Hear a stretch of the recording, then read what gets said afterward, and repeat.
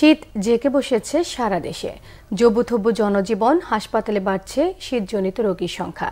প্রতিনিধিদের পাঠানো তথ্য ছবিতে থাকছে ডেস্ক রিপোর্ট। কুড়িগ্রামে টানা শীতে জবুথবু অবস্থা বিরাজ করছে। গেল কয়েকদিন ধরে দেখা মিলছে না সূর্যের।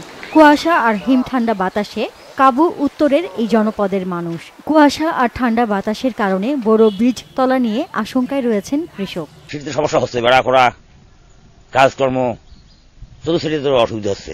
বয়স্ক মানুষ যারা আছে তাদের পক্ষে খুব কঠিন ব্যাপার ঘন কুয়াশা আর হাড় কাঁপানো কনকনে ঠান্ডায় জবুথবু পঞ্চগড়ের মানুষ। রাতভর টিপটিপ বৃষ্টির মতো ঝরে কুয়াশা। দিনভর ঠান্ডা বাতাস আর কুয়াশায় দেখা মিলছে না সূর্যের। আমার ওটা তো লোক করতে যাচ্ছে না ঠান্ডার কারণে শীত কারণে। মাঘ মাস যে যে শীত পঞ্চগড়ে কুয়াশায় কিছু দেখা যায় না। কষ্ট করে আজ কাটাচ্ছি আমরা। পাতলা পায়খানা বারান্দায় আছি। বাতাস আর ঠান্ডা এখানে থাকা যায় না। শীতের প্রকোপ বাড়ায় জেলার হাসপাতালগুলোতে দিন দিন বাড়ছে শীতজনিত রোগে আক্রান্ত রোগীর সংখ্যা। ডায়রিয়া এবং নিউমোনিয়া এবং এক্সট্রিমেস যারা বৃদ্ধ এবং বাচ্চা তাদের মধ্যে রোগ বেশি হচ্ছে। প্রতিদিন আমাদের বহির্বিভাগে প্রায় চারশো থেকে পাঁচশো রোগী আসতেছে। গত দুই দিন থেকে দিনের বেলা সূর্যের আলো দেখা যাচ্ছে না এবং কুয়াশায় আচ্ছাদিত থাকতেছে যার কারণে সূর্যের আলো না পাওয়ার কারণে ভূমি উত্তপ্ত হয়ে উঠতেছে না যে কারণে শীত বেশি লাগতেছে। ঘন কুয়াশা আর হাড় কাঁপানো শীতে কাহিল হয়ে পড়েছে নাটোরবাসী। গরম কাপড় না থাকায় শীতে কষ্ট পাচ্ছেন নিম্ন আয়ের ও ছিন্নমূল মানুষ। হাসপাতালে বাড়ছে শীতজনিত রোগীর সংখ্যা।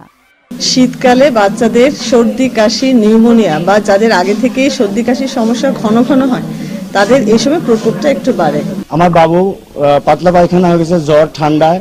জ্বর হয়েছিল প্রথমে। জ্বর আসার পর ঠান্ডা লাগে নিউমোনিয়া হয়েছে। মৃদু শৈত্যপ্রবাহে হাড় কাঁপানো শীতে কাঁপছে চুয়াডাঙ্গা।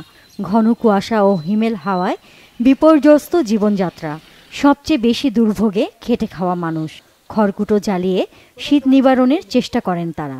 সকালবেলায় বেরোলে পরে হাত পা কালি অবশ হয়ে যাচ্ছে আমরা হাত পা বের করে আমরা কোনো কাজেই দিতে পারছি না, কাজ কাম যেতে পারছি। ধান লাগা অবস্থা কাদা করতে পারছি না, চারা মরে যাইছি, চারা লাল হয়ে যাইছি।